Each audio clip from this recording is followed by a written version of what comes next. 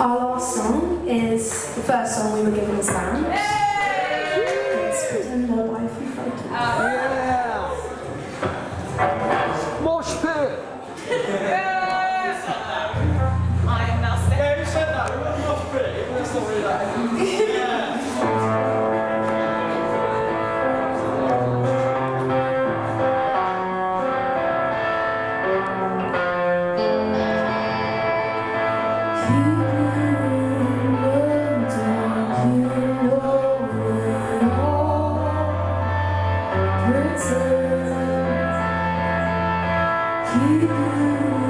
Love darkens so